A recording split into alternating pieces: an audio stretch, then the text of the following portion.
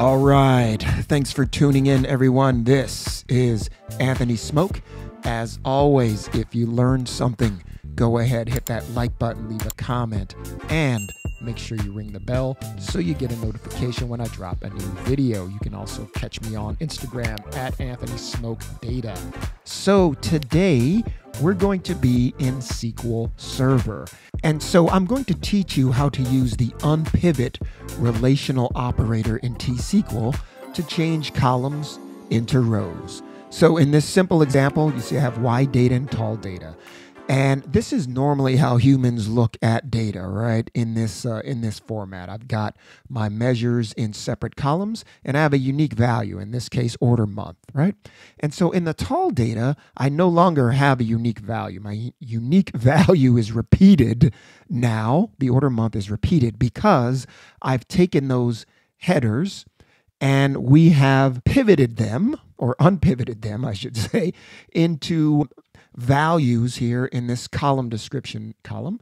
And then those respective values are put in their own column as well. And so you'll see I have more rows in this uh, tall data fashion. Using wide data versus tall data, it's up to you and how you want to meet the requirements uh, that you have. But there are some pros and cons of the tall data format, which you can uh, pause and read here. But let's get into how we use that unpivot relational operator in T-SQL to change our wide data into tall data. Okay, so here we are within uh, SQL Server. I'm just running a little SQL Server Express on my local uh, PC here. And I'm going to show you the data that we're going to be uh, working with. And so my Tableau peeps know about uh, Sample Superstore here. So let's take a look at the data here. And you'll see I have all of these dimensions and I've got some measures here at the end. And so let's pretend that we are modeling for um, for our visualization uh, front end. We don't need all this. We don't want to bring all this over when we make a connection. Let's go ahead and do a select. Uh, I want the order date. Let's do, well, let's do this. I like to, when I'm in SQL Server, I just like to drag things. Let's go select the order date. And then I'm going to do a function here that, and I'll explain it after I uh, run it. And I want this to take the order date. What I'm trying to do essentially is back each order date. See the order date? See, this is the 15th. I want this to revert to the first of the month for all of my order dates. And so this is the function, combination of functions I would use to do this. So I would do a date diff, and then around that, we would do a date add. I want to add month zero, and we're going to call this order month. And I'll explain this, uh, you know, maybe if I get enough, if I get uh, three people in the comments say, explain this for me, maybe I'll do it. But for now, just know that this is how uh, we get the uh, the first of the month for a specific uh, month. I'm going to be consistent here and just drag things here. I want the category, and I'm a comma in front uh, guy. You know, I know uh, some people like the commas in the back. That's fine. Uh, we're going to sum sales right? We're really going to aggregate this low granularity data. We're really going to aggregate it up. You see, there's 9,994 rows here, but let's pretend there was, you know, 9 billion rows, right? We would want a way to filter down these rows or aggregate up so that we don't have as many rows. So we're going to go sum of sales. I'm going to go sum of, let's say, quantity. Let's go sum of profit making a sum of discount doesn't make sense. So I've got those three from where? From Table Superstore. I'm just going to copy that uh, here. And of course, you know, anytime I aggregate, I have to add a group by. So we're going to, for now, group by these three. And I'm going to remove this alias right here.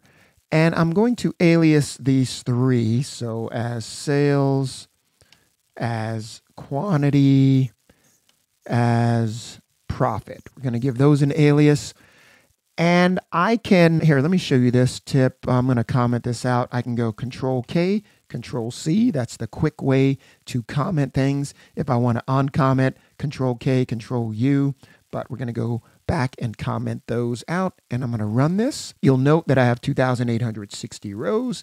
And just wanted to show you that this order month that we used here, right, in this combination of functions backs out to the first day of the month. So what I can do now, I'm going to get rid of this order date and be mindful of the commas. I'm going to get rid of this order date, be mindful of the commas, and I can also put a cast around this to get rid of the time.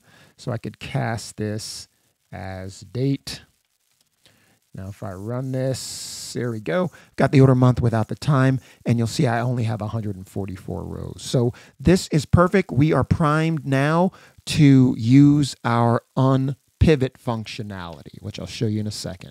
Okay, so now let's go ahead and turn our base query into a CTE, other known as a common table expression. So with CTE as, I'm going to use CTE as the name of the CTE. And again, a CTE is just a temporary named result set. I can store uh, results in there and then refer to them later in the query. So I have named this as a CTE, right? Let me go ahead and lower that. I've called this a CTE, put this between uh, parentheses, and I can select columns from my CTE. So I'll just do this, select, and I don't need to do all of this uh, functionality here. And I can refer to my CTE, right? So let's go ahead and see if this executes for us. It does. And you'll see I just selected these two from the CTE. But that's not using our unpivot. So what we're going to do, we're going to add two columns here that aren't defined quite yet, right? These columns are going to correspond to a pivot column and a value column. So our pivot, I, I should say unpivot column, what we want to unpivot, I'm going to call column description, right? And then the column that's going to hold my values, I'm just going to call column values. Now, you may be saying, like, this doesn't exist anywhere. That's all right. You're just going to have to step out on faith here. So now that I have those two, now here comes unpivot. So we're going to unpivot. What are we going to unpivot? We're going to always unpivot the column values. We're going to unpivot those values for column description in now, I have to know the names of my measures that I want to unpivot. And that's going to be sales, quantity, and profit. So I'm just going to say sales, quantity, profit. Just going to put those between uh, parentheses here. And I'm going to close this out. And let's call this on as unpivot, on PVT. And then I can even order by, I'm going to move this here I put my unpivot in the wrong place. Yes, we're going to select all of these from the CTE. Now we're going to unpivot. And then I can order by if I want to. Let's say order by uh, the, uh, the order month. And let's take a look at this. And there it is. So going back to review here, what do we do? So now I selected, you saw where we selected these two from the CTE originally. We added two new columns.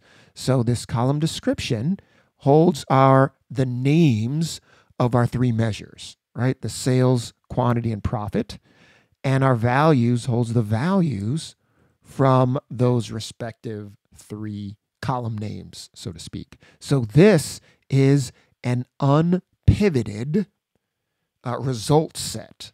Now, I just want to point out that we are able to stuff all of these values into one column because they are all of the same data type. So you'll see the sales is real, the quantity is real, the profit is real. Now, what were to happen? What would happen if I said, hey, I want a new measure in here. So if I went up to in my CTE, I did something like this. I did uh, count star as, let's call it record count. So it's like, okay, hey, I've got a new uh, a measure. Can I throw that into my, don't need to add it here. Can I throw that into here as record count? Record count. Will that work? Let's go ahead and try. And it'll say the type of column sales conflicts with the type of other columns specified in the unpivot list. Really, what it means is this record count is an integer. It's the first thing that it encounters. And so everything else has to be an integer. So what I would have to do in order to make this work, I'd have to cast it. Cast this as a float that would make it real as a record count. And so now if I were to run this, they should all be the same. You'll see I have record count now in there because I had to cast this to be the same type as the other measures. They all have to be the same type if you want to throw them in here. But uh, in any event, this has been Anthony Smoak. Hope you learned something new here about wide tables and tall tables and how to unpivot your wide tables to turn them into tall tables, which has its uses in certain data modeling situations. So, again, get out there, do some great things with your data. Thanks for watching, everyone.